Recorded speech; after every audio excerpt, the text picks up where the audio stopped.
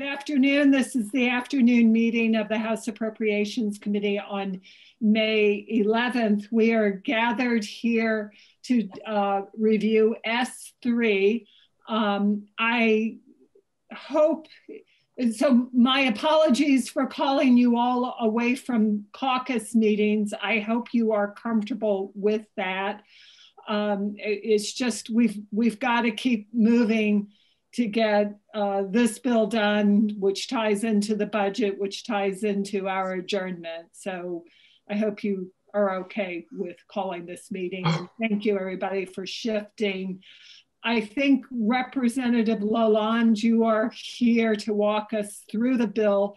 And um, we have a few other people joining us one of the questions committee that we need to attend to is, is that there are costs associated with this, but um, no money was appropriated for it. And we need to figure out if we, um, what the costs are and how to manage those uh, going forward. And um, if our guests have any advice to us both on the part of the Department of Mental Health. I think they may have some thoughts on their side. And I know we have, don't have representatives from the um, Vermont um, Legal Aid, but there is a cost there that we need to think about. Um, so we need to sort that. Rep Lalonde, if you will give us the broad overview, help us understand generally what the bill is doing, and then bring us down to the particulars over which we have jurisdiction, obviously the money pieces. So thank you very much for joining us. Absolutely, thank you uh, for having me. So the bill uh, addresses various, a uh, couple things. It addresses proceedings, court proceedings that occur uh, in criminal cases when there's an issue concerning either the defendant's sanity at the time of the offense uh, or the defendant's competency to stand trial for the offense. Uh, and, and, it deals with a number of pr uh, procedures uh, that are in law. And I'm not going to go over the first two sections that uh, address a couple procedures because they have no money attached to them. So I'm going to jump right to the third proceeding. and that has to do uh, with, actually, I'm sorry, the second. It's the second section, I apologize. Uh, that has to do when uh, a court finds an individual to uh, have uh, been insane at the time of the offense or that the individual is not competent to stand trial, there has to be a commitment hearing. Uh, you're no longer in a, a criminal case, you're in a different kind of proceeding called a commitment hearing. And the question is whether the individual is a danger to self or others. Uh, if the court finds that the individual is a danger to self or others, uh, the person is committed to the Department of Mental Health uh, or to DAIL if it's a, a developmental uh, issue that underlies uh, the finding of incompetency or uh, insanity. currently, when you, for a commitment hearing, defender generals, uh, the, the attorney from the defender general's office, uh, who was defending the case uh, when it was called a criminal case, uh, may continue uh, in defending the case when it goes to a commitment hearing. But the individual, the defendant, is at somewhat of a disadvantage in that case because the defender general attorney are not experts in commitment hearings, which is a different kind of uh, hearing.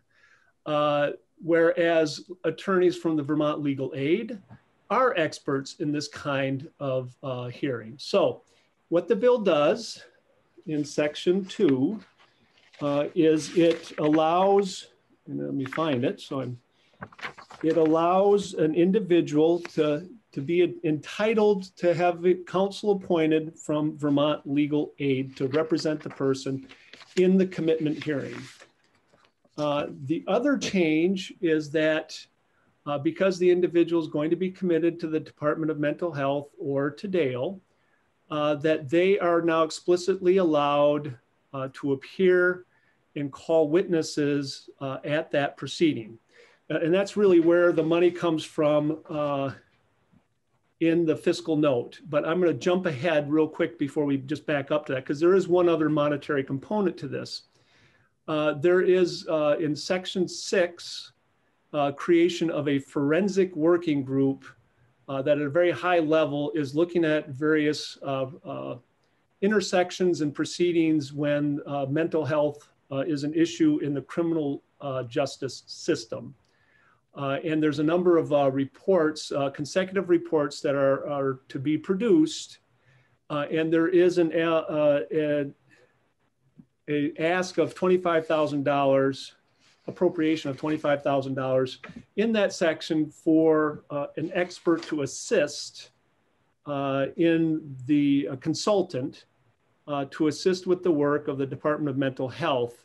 my understanding is that because the stakeholders in the work group uh, have different slices of knowledge and interests, but no real expertise in the issues they're looking at, uh, the actually the health committee, which really took the lead on this part of the bill, uh, asked the Department of Mental Health for an estimate for the cost of a consultant, consultant and that's where the $25,000 comes from.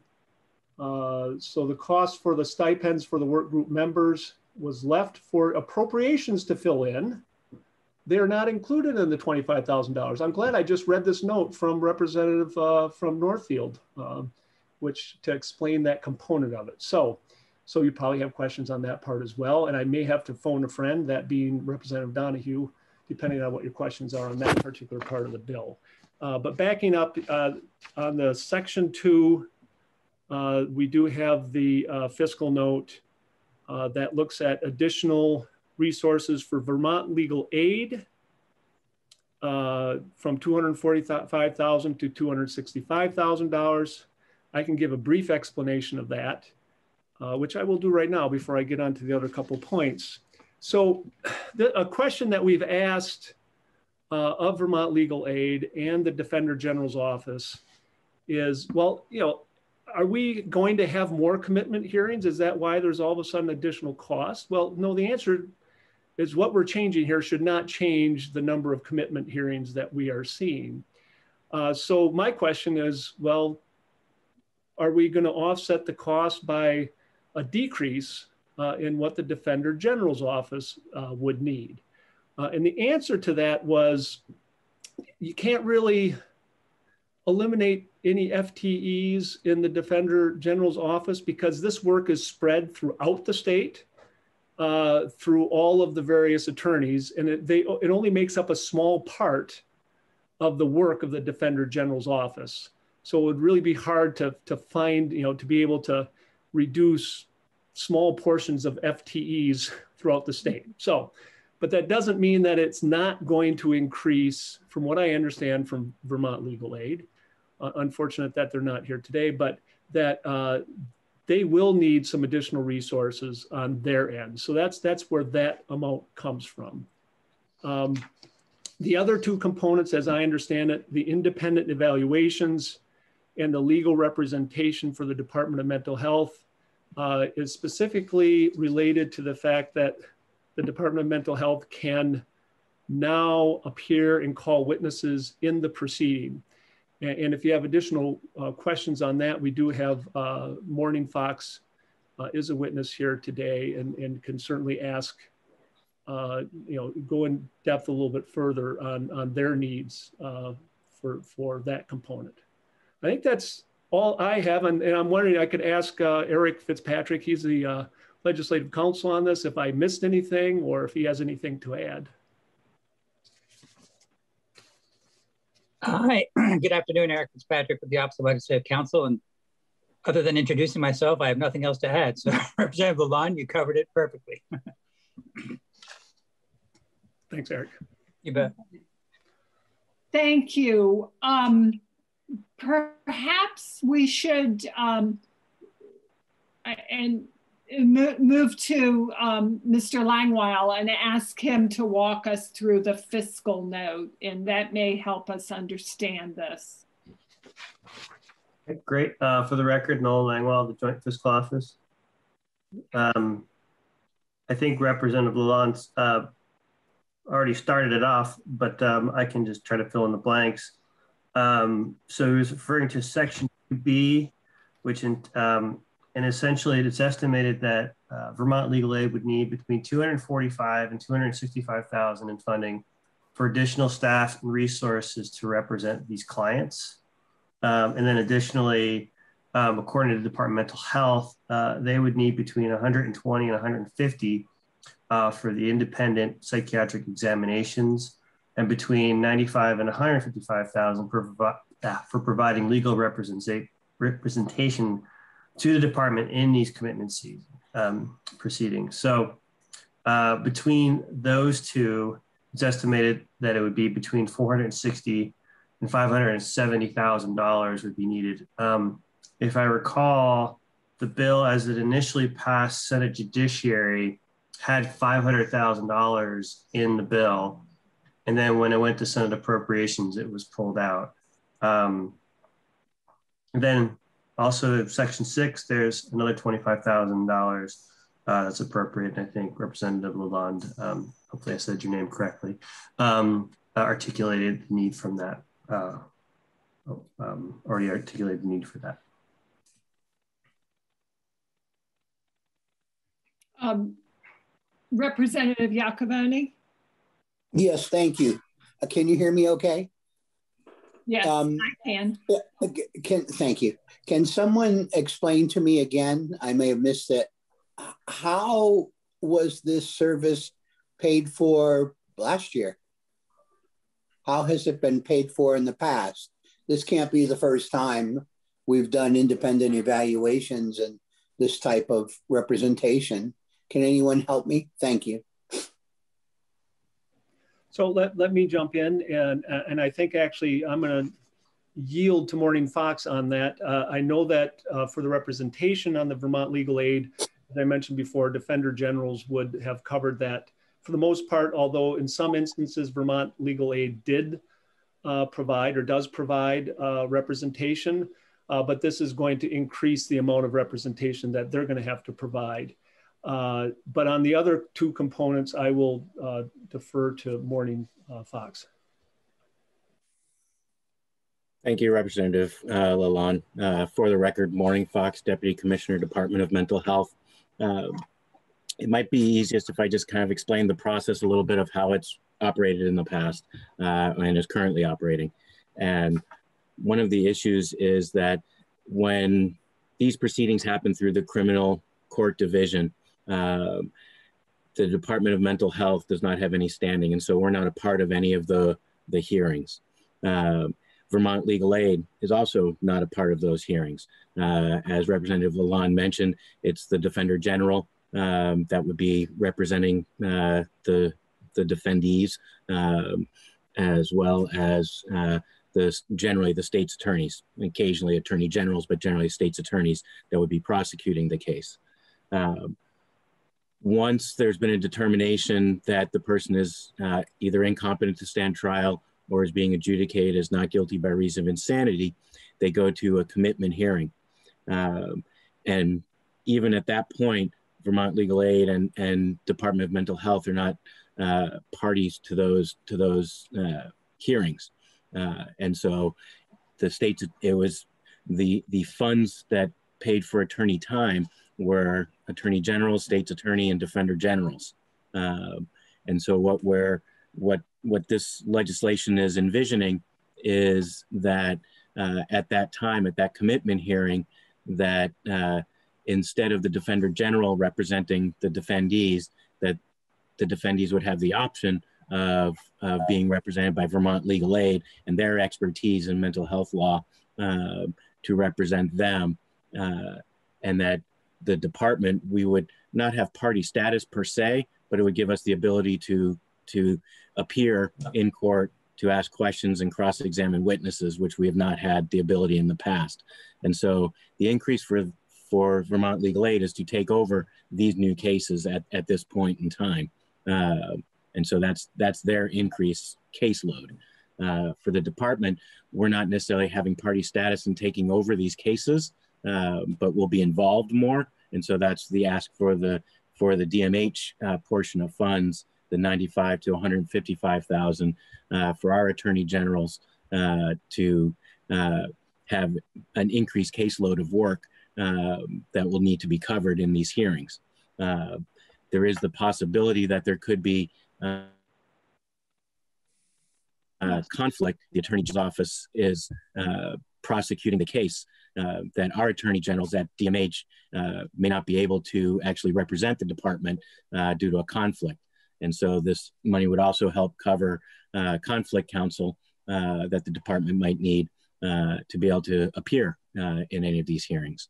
and in relation to the independent evaluation, that is really directed towards legal aid and with their participation, uh, it is not uncommon for them to seek independent evaluations um, at that point um, if they're going to contest the need for hospitalization or something of that sort. And so this money uh, would be to help pay for the independent evaluations uh, that Vermont Legal Aid uh, may seek. May I follow up, Madam Chair? Yes, you may. Um, uh, Thank you, uh, uh, Mourning Fox. Appreciate it. Um, I'm still left with um, why the change? Why not just keep it the way it was? Were people displeased with the public defender? And I wish I was more uh, diplomatic to word it differently. Yeah. I don't mean to disparage anyone, but was there a um, lack of satisfaction with the way it was done? At I think some four hundred and fifty thousand dollars less a year.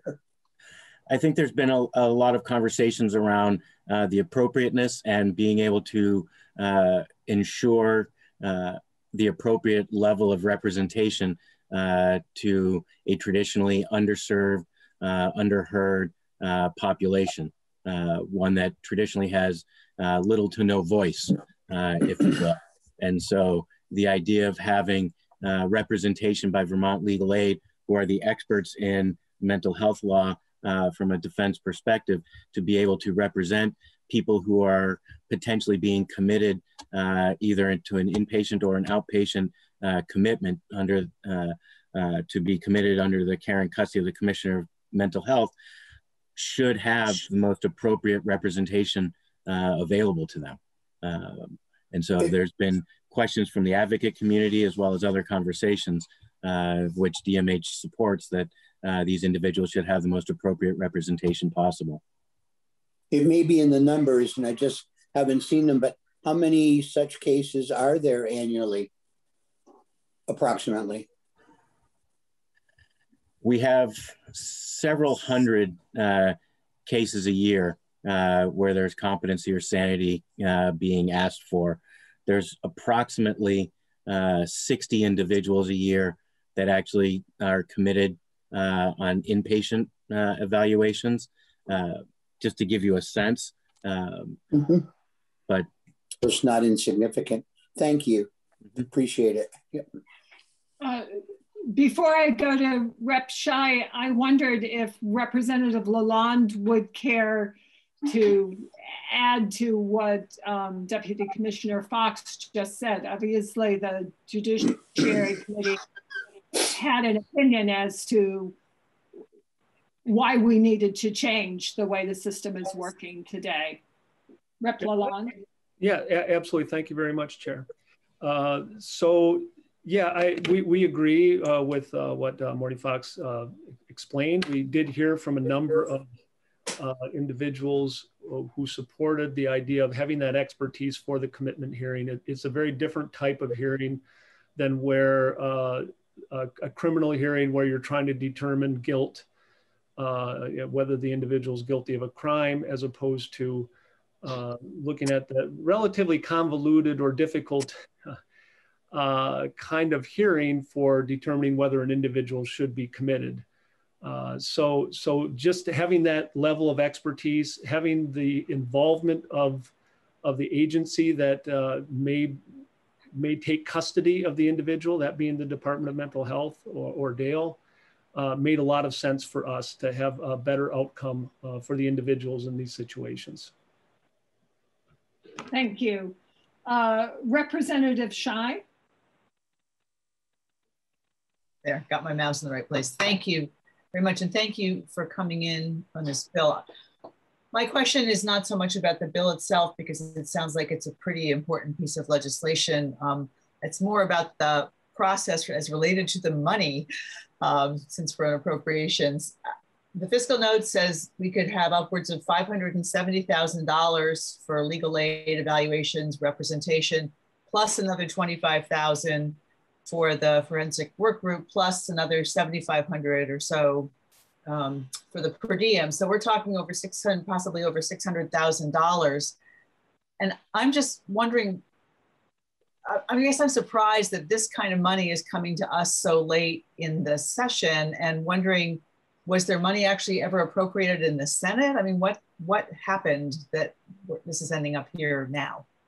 So, so I can jump into that, and Eric uh, probably could, if I miss anything on this. Uh, again, my understanding is that uh, the uh, appropriation was in this bill initially.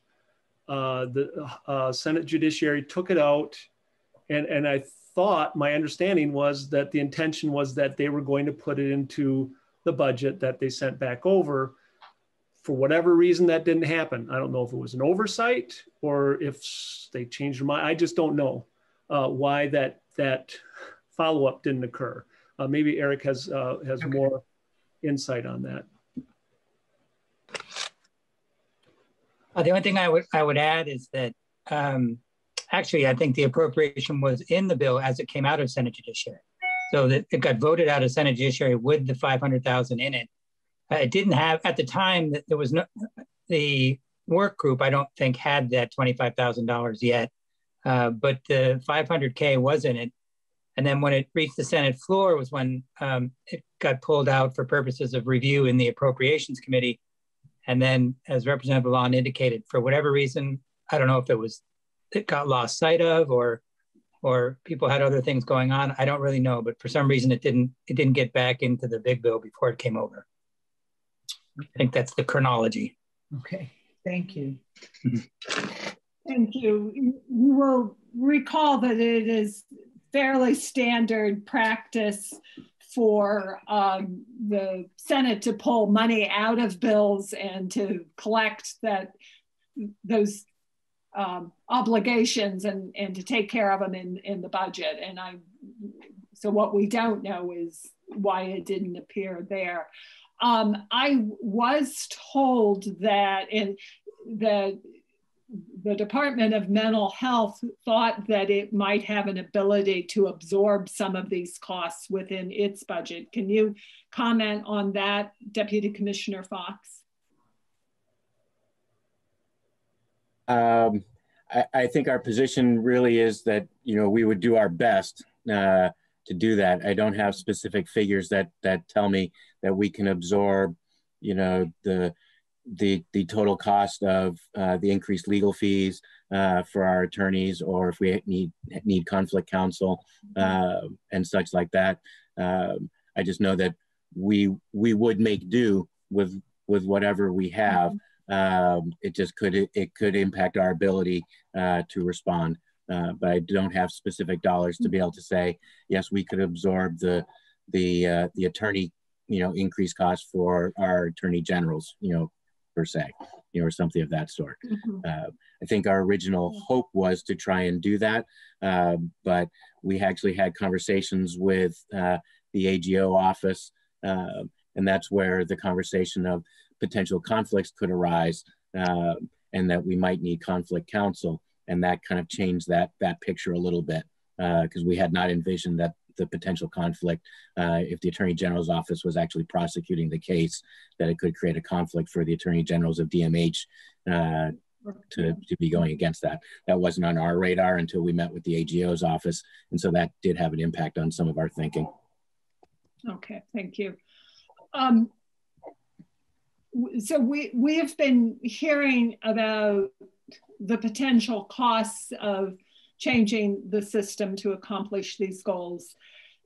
I, I am curious about what are essentially avoided costs uh, that exist today. And this is where I'm going to start getting a little bit dangerous in my speculation. So we have um, a, a, an increasing number of people, I believe, who are coming through the justice system who are being held for competency hearings. And, and at any point, if I'm just way off the facts, please interrupt me. But this, this is my recollection, is that there are increasing numbers of folks coming through the system um, who are being asked to stand for competency hearings and um, sometimes being detained while those he hearings are um, being scheduled. And you know, so there are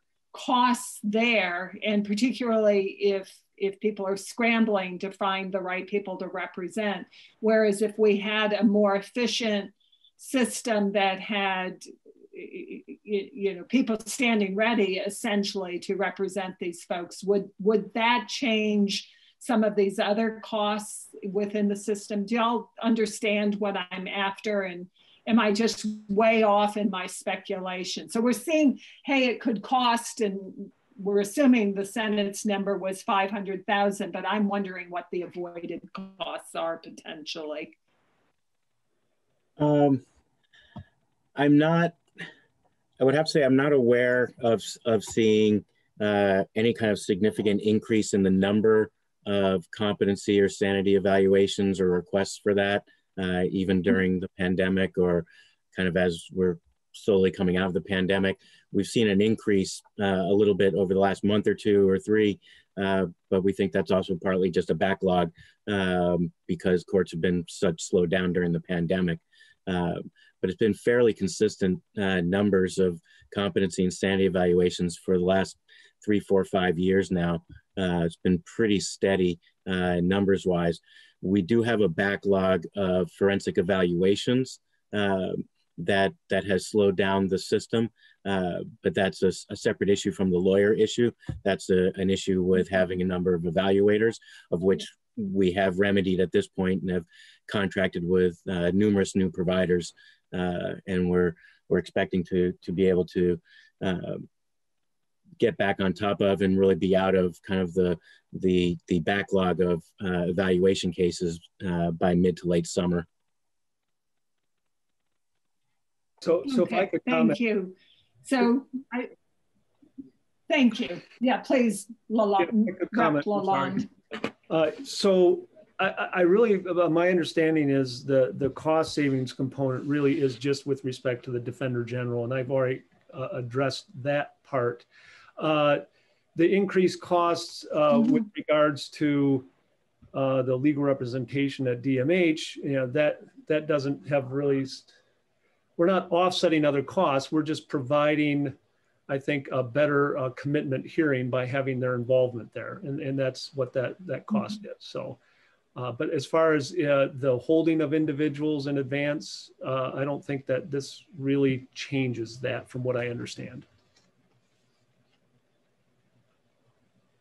Thank you. I'm obviously conflating two things. Um, I, I have this recollection of the Department of Corrections talking about the number of detainees it is responsible for.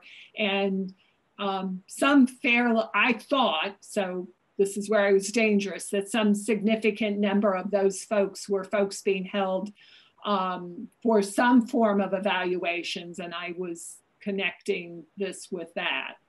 Um, but evidently I am wrong. Um, Representative Feltus?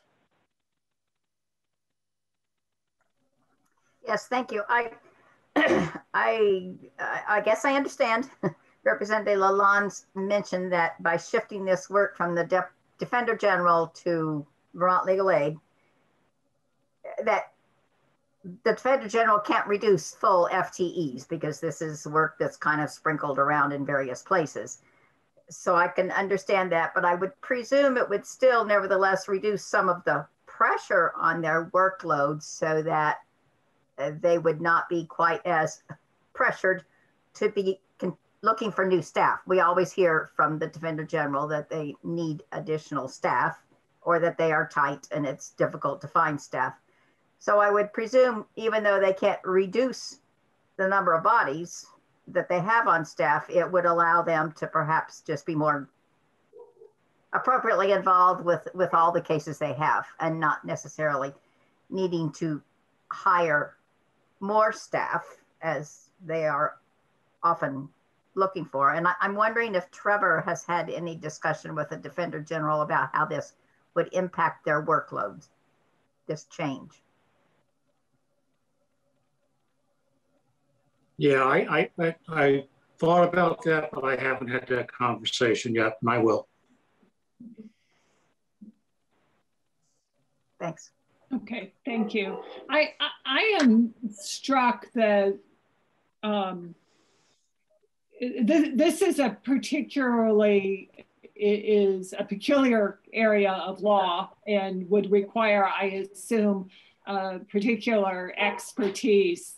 And our defender generals are usually, I, I think of them as being generalists rather than specialists, and that there must be a significant difference in the defense that one would receive being represented by an individual with expertise that can have all sorts of value in this. I'm I'm seeing a head nod and I'm not seeing anybody saying, no, you're wrong on that one, Mary.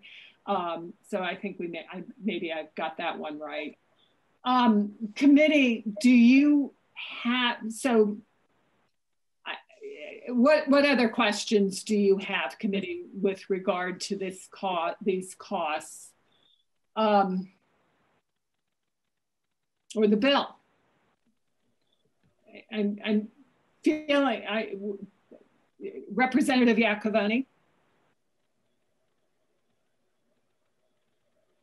Thank you. Um,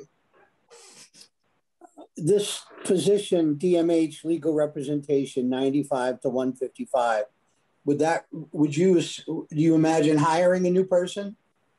Is that a, is that a, it's a vacant position It would be, do we need to give you authorization for a new FTE?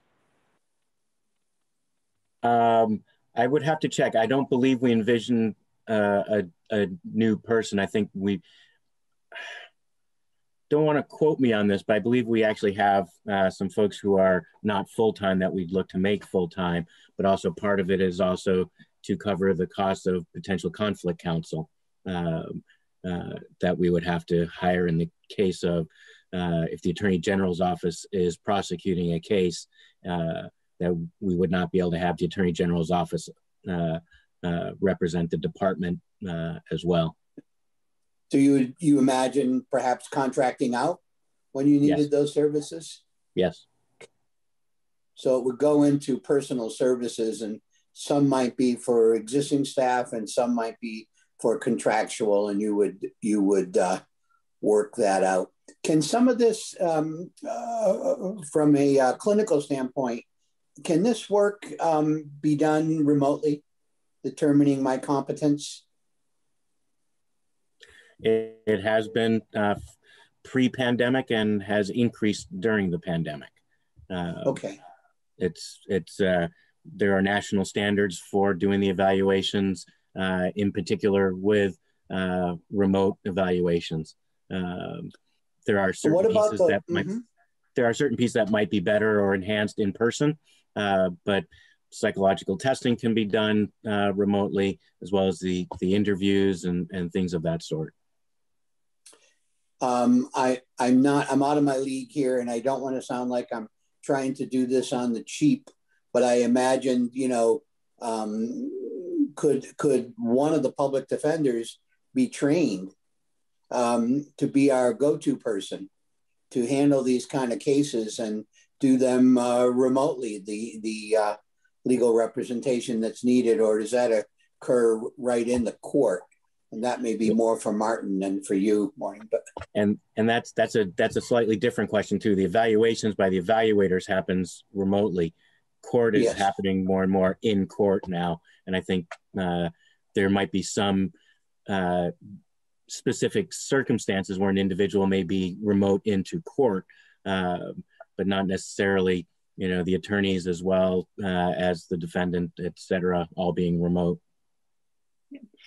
Um, Rep Yacovone, I know that um, Jack McCullough of Vermont Legal Aid is watching us and, and has who, who it, and he Jack heads the group that represents folks for in in these proceedings.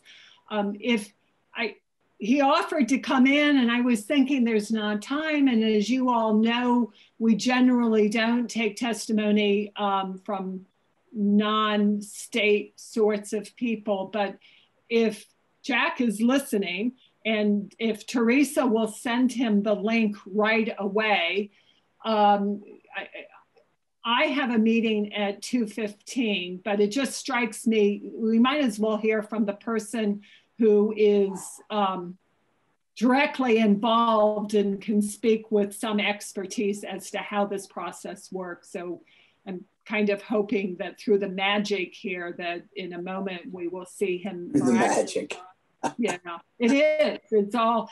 Um, I was yeah. in a yeah, yeah, but I don't know. So Teresa, did you hear me? Can you send Jack? Yeah. So in a moment, I think maybe we will see. And rather than sending you off to have a conversation with him and asking, then asking you to come back and talk to us about it, I figured I would just short circuit this um, while we're waiting for him to join us, um, can I, I, I, am sorry, I just, in, I, am trying to do too many things, so forgive me because I am sure you mentioned this, Rep Lalonde. Why are we adding two more members to the Joint Legislative Justice Oversight Committee, other than my desire to be on that committee and I'm not?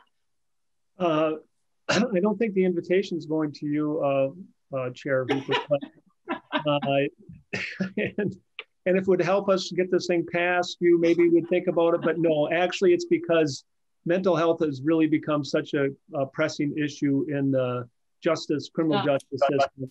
And we really, you know, it's designating having an individual from the healthcare that deals with mental health. So that's that's why we are having somebody there. And I do want to flag before you turn to uh, Jack McCullough that there was just uh, the additional uh, issue uh, where uh, the stipends for the work, work group members, uh, as far as addressing that. And, and I, I would ask that we perhaps uh, send a link to Ann Donahue to bring her in if there are any questions about that, because that really was healthcare that dealt with that group. So if yeah. that's okay with you, just to have her on, on uh the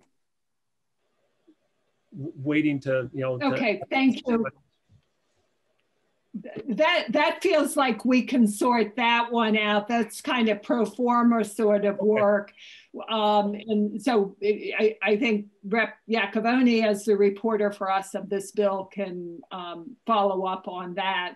And okay. just uh, my suggestion that Mr. McCullough join us is that we we're talking about his work and the work that his office does and it felt like it might be a little more helpful to hear directly from him as to the benefits of this change in the system. And so, Mr. McCullough, thank you for joining us. Thank you for having watched and offered to do this. You've been hearing the questions we're asking and are trying to understand how this new system would work. So if you can, if you would like to, just in a few minutes, we're really are running up on time, but if you could help us understand this better, that would be terrific.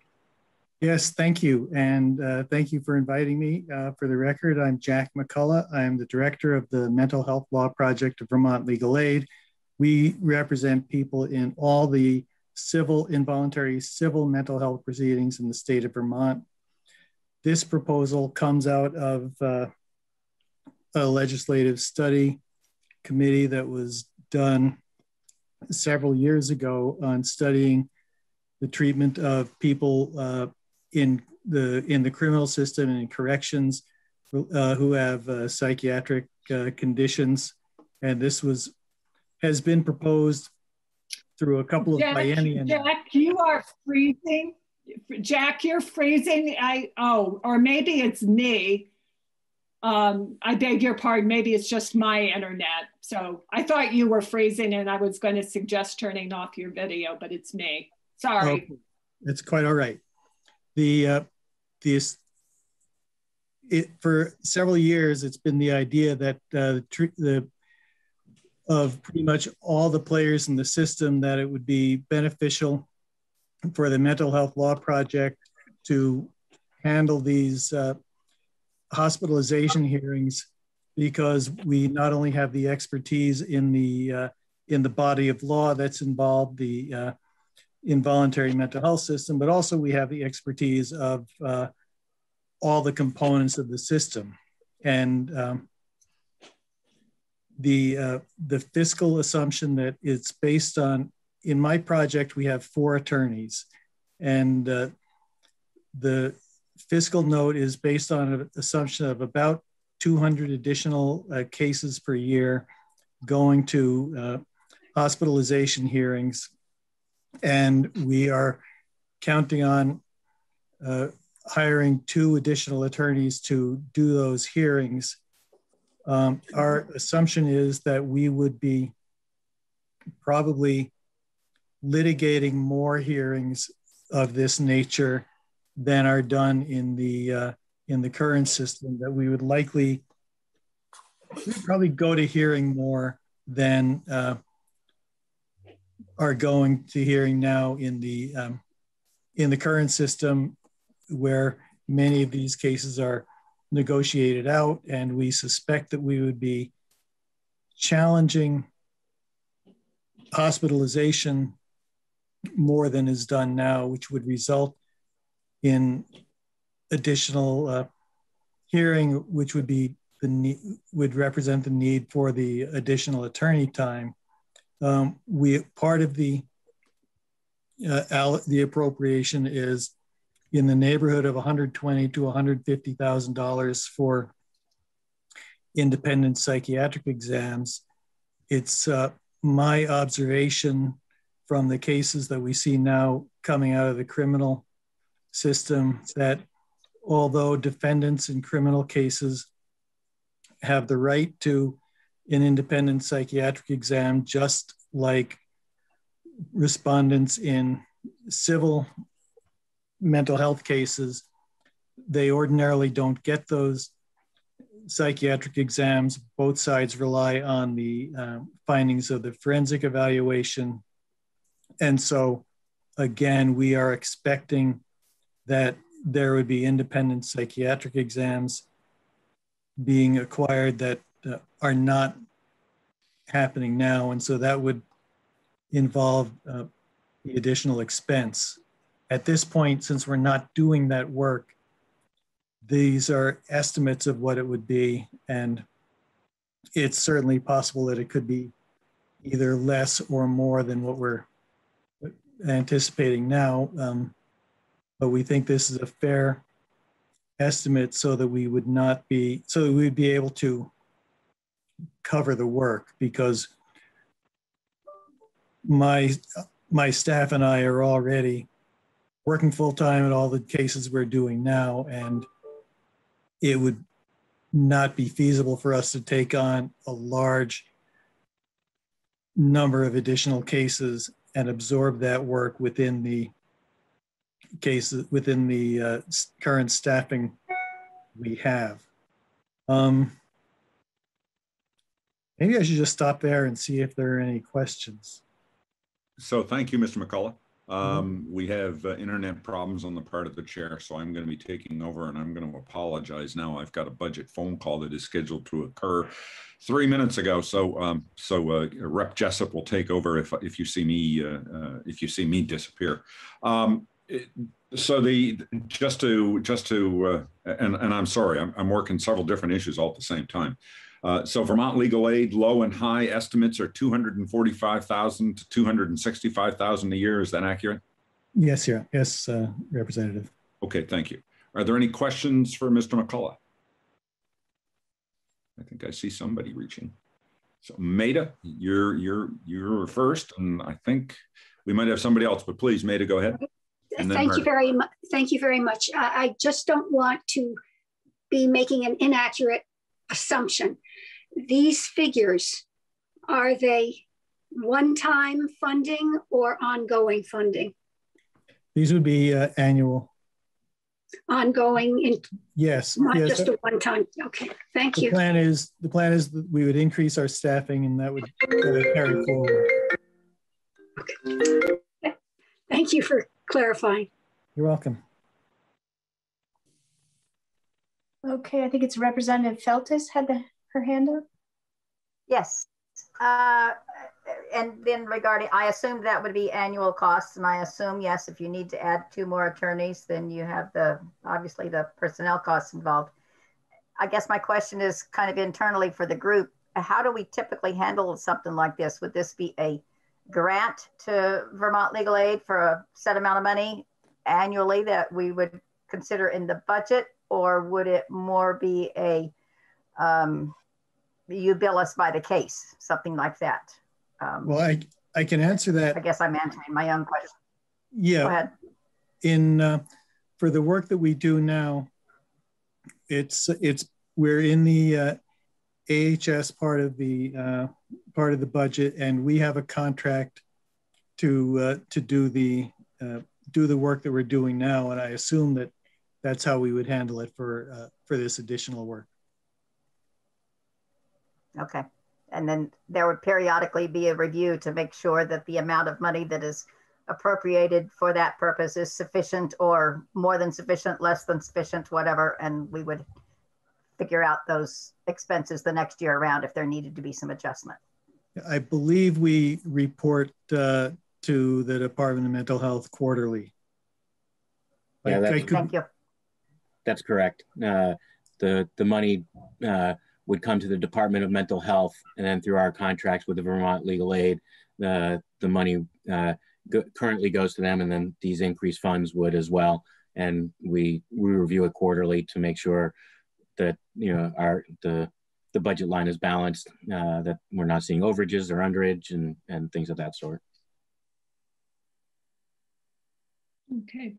Um, thank you. I've, I, I'm trying my internet again. We'll see if it works. Rep Jessup, be prepared to stand by if I get booted off. We have four people using the internet in the house today, so it's being challenged. Um, Rep Yacovone? Yes. Um, uh, uh, I'm, I'm back to, and I don't know who can best answer this, but imagine you're on the floor of the House and you have to report this bill.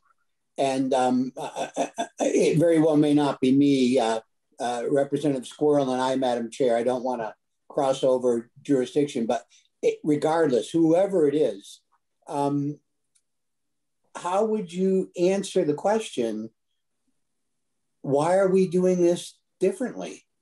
Have we not been as aggressive with our representation previously as we should have been?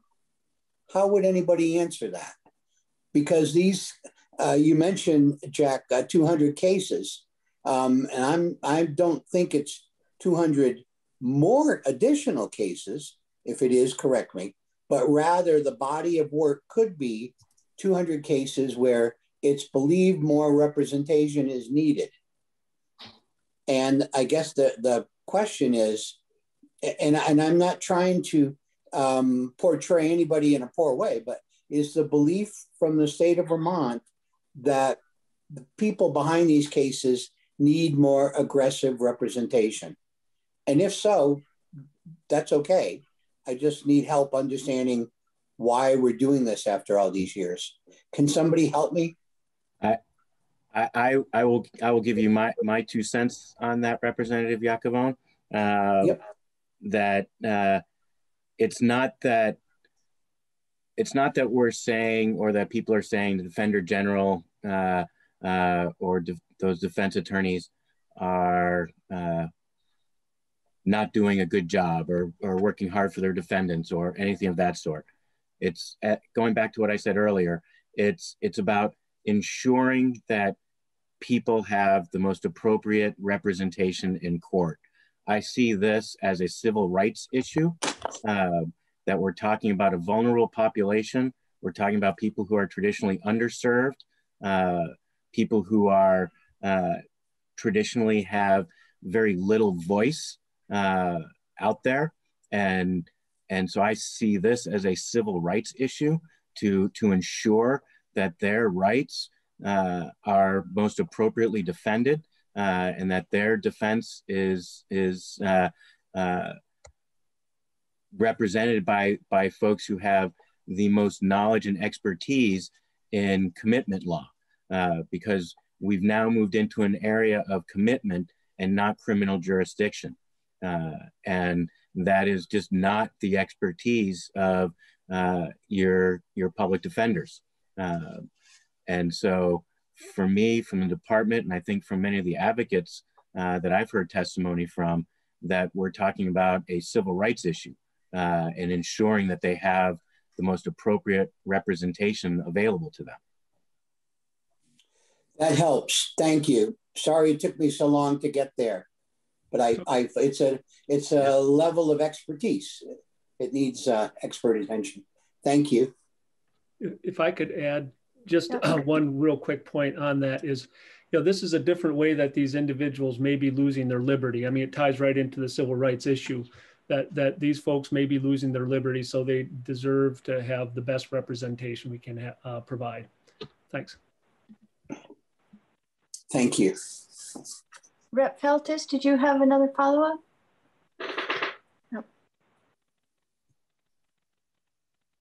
And any other questions for all of who are here? Okay, um, I'm not seeing any hands, so I will uh, circle back with, oh, uh, I'm sorry, Jim, Rep Harrison? Yeah, thank you. Um, Doesn't really have a question though. I just I wanted some attention. Thank you.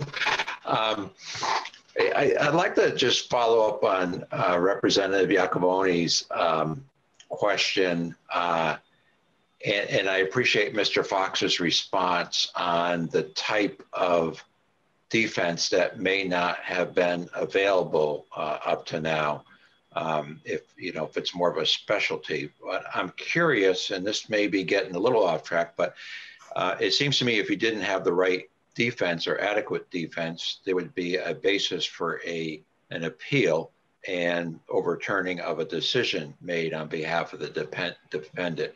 Has that been uh, the case in any of these uh, up to now? I'm not aware of any. Um, uh, I th- would say that the majority of the cases that we're talking about, once there's a determination that the defendant is incompetent to stand trial or uh, not guilty by reason of insanity, and the overwhelming majority is findings of incompetence to stand trial, then there is a resolution. There's an agreement you know, to have the person be hospitalized or placed on an order of non-hospitalization and it's my expectation that in some number of the, those cases and it's hard to know until we start doing it but in some number of those cases once there's this determination of incompetency there would be a contested hearing on whether the person would be hospitalized or placed on an order of non hospitalization. And some of those defendants would be um, would be successful at those hearings and not uh, not subject to involuntary hospitalization or involuntary treatment.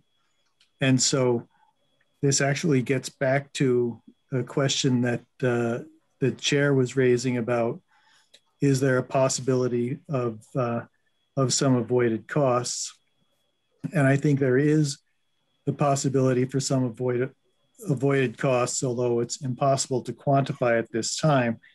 But if we successfully defend a hospitalization hearing and some a defendant is not committed to the hospital who otherwise might be, then whatever the state would be spending on keeping that person in the hospital against their will would be would be a saving.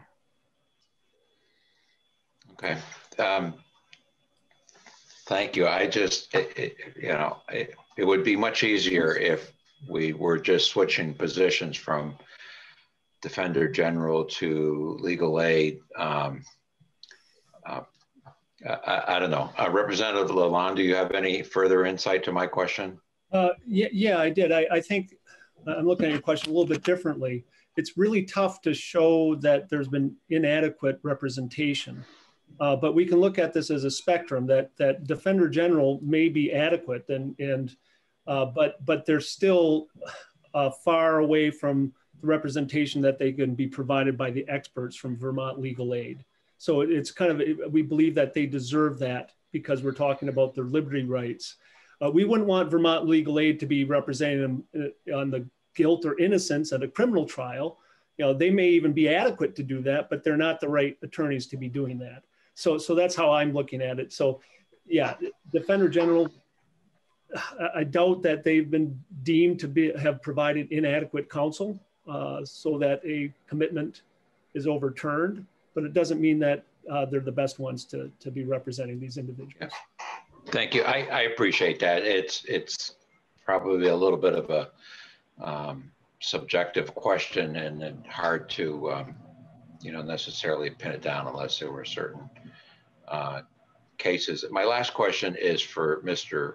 Fox. Um, it, because this is now a significant amount of money at the end of the session that's not built into the budget, that needs to be built into the budget every year. Uh, is that something that the administration supports? My understanding that the administration does support uh, this this fiscal piece uh, going into the the this legislative session as well as uh, the last biennium. Um, just so folks are aware, this bill S3 uh, had a predecessor in the last biennium of uh, S183, which was almost word for word the same, but never quite made it through the process. Um, and the the administration has been in support of both that as well as S3, knowing that there's a uh, fiscal note uh, attached to it. Part of what uh, hung S183 up in the last biennium was exactly this fis- this fiscal note um, and and the the conversations around it. Uh, so it's our hope to get move that through this biennium, move this through this this session um, uh, as we've retaken up this bill. Okay, thank you. Thank you. Uh, are there any additional questions? Okay, very good. Mr. McCullough, thank you for joining us. You're welcome. Thank you for having me. Appreciate I'll, it. I'll log, I'll log off now we're done. Thank you. Yep, thank you. So right now, as I'm sorry, I've been, as I said, I've been multitasking and trying to to do other things, all budget related, while we've been sitting here and, and listening with one ear. So right now, um, as I understand it, according to the fiscal note, which I have open in front of me, we have a request um, uh, for $460,000 on the low side, $570,000 on the high side. Nolan, I'm going to ask you to chime in here.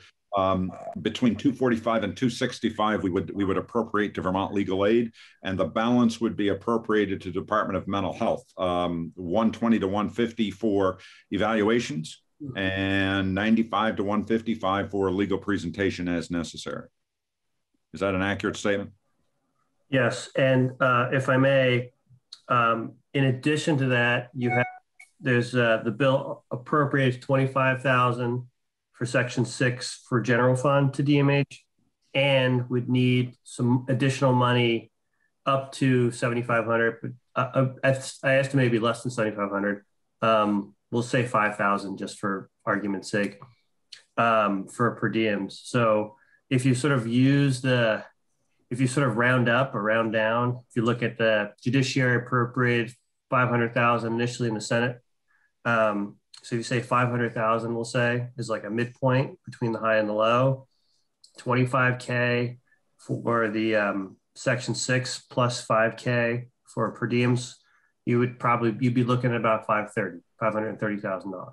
Okay, is the the funds for Vermont Legal Aid for the independent evaluations at DMH and DMH legal representation, are those all global commitment funds?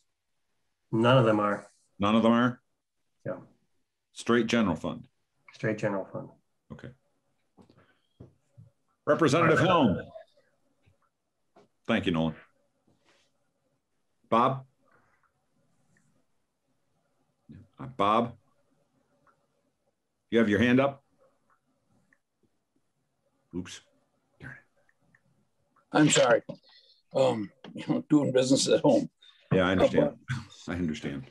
Um, you know, I just, I, I'm just going to say this, then I'll shut myself off because it won't mean anything. But I, I, I'm sure we've had it, but I cannot recall very many times an ask this large, this late in the session. And and I, I am at this point, and, and, and I think the idea is probably just great, but I, I I think sometimes at this late in the session, all these littler ones and miscellaneous size get tumbled into us. And I don't ever know, and I'm sorry for that recorder, I don't ever know kind of like what have we spent this week or month?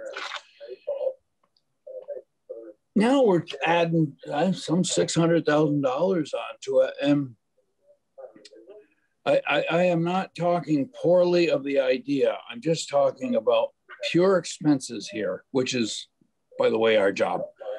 Um, I, I just want to bring that up. It's it's a it's a gob of money, and folks, I'm telling you, in a couple of years, we're going to need money.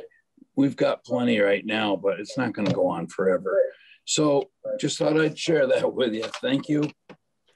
Bob, thank you. So do we have any further questions?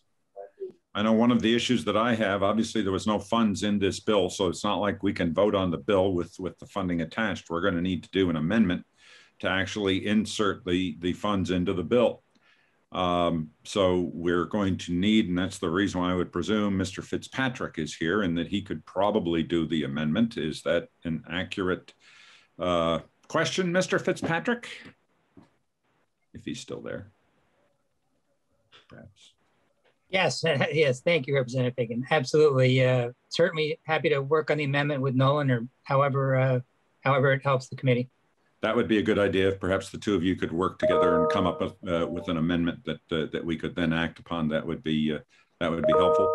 Um, it it, uh, it, it needs to indicate um, the the the specificity of my question to Nolan um, the funds being allocated, appropriated to to legal aid, and then to the DMH for for two different uses, and then uh, uh, funds going to DM another twenty five thousand to DMH for uh, for um, the uh, to complete the work described, and then an additional five thousand for the uh, the work group. And I don't know who we're going to send that to, but I'm going to I, I hesitate to guess, but if I had to take a guess, I would say Department of Mental Health. So, um, uh, Representative Fagan, I, Please. I believe Eric could probably use this language similar to what was pulled out of the judiciary in terms of where it goes. All the money would be going to DMH because we don't appropriate money directly to legal aid. Okay. Do it to DMH for their contracting. Okay. So I believe uh, Eric could probably just do the similar appropriation that was in the initial judi- uh, Senate judiciary with the addition of the $25,000 and the addition of, we'll say, uh, 5,000 for per diems um, or yeah, something like that. Okay, I, I, I think that that's good, and then we could, uh, you know, we can um, um, take a look at that and consider that. So if you would please work with uh, with Eric, uh, that would be great. And Maria, um, I have a question of you. What is our bottom line on on general funds here? Because obviously we're about to, uh, uh, if we do this, we allocate an additional five hundred and thirty thousand dollars roughly of ongoing general fund money into the future. Although I would imagine that the that the the thirty thousand is not ongoing. The thirty thousand is one time. Is uh, is that uh, is that accurate, Nolan? The tw- there's twenty five k would be for the group. Okay. Um, ongoing or one time? Yeah. One time. One time. Okay. Yeah, the the study group and the per diems is also for the study group. And so that's a one-time uh, Okay. event. All right, so so we have thirty thousand in one time, and then not concerned there, and then or not as concerned, and then uh, five hundred thousand in ongoing. So Maria, could you ascertain for us the status of of ongoing funds to let us know where we are, such that when we when we contemplate the amendment, uh, we'll have that information, please. Okay, I um I need to talk to Steve and Stephanie about this because there's still a lot of different things moving around, but I will, I'll do that and I'll Okay, very good. let you know. Yep. Thank you very much. Any further questions? Very good. Seeing none. I do. Uh, I appreciate everyone's uh, assistance to this matter today. It is important, and uh, uh, you know that we uh, that we act on this. So thank you. Thank you, uh, Representative Fagan. And, and I'll, I'll take this as a lesson that when uh, the Senate Judiciary takes money out of a bill, the, and we won't count on that showing up in the uh, budget that we see come over from the Senate. So in the future, we'll put it back in the actual bill so we don't run into this again. Thank you. Always helpful. You just never know what's going to happen in this building via Zoom or via actual. So just uh, just pretty amazing. So thank you. Thank All right. Uh, so Teresa, if you will take us off live.